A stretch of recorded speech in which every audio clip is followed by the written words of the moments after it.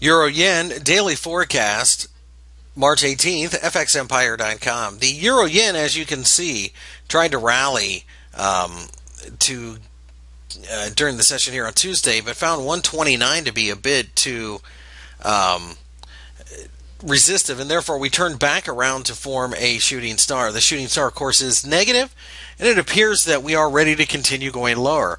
With that, we recognize that the euro has far too many problems to buy, anyways, and especially against a safety currency like the Japanese yen.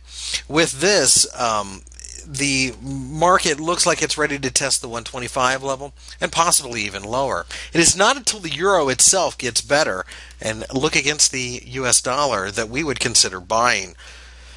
The euro US dollar pair is going to parity.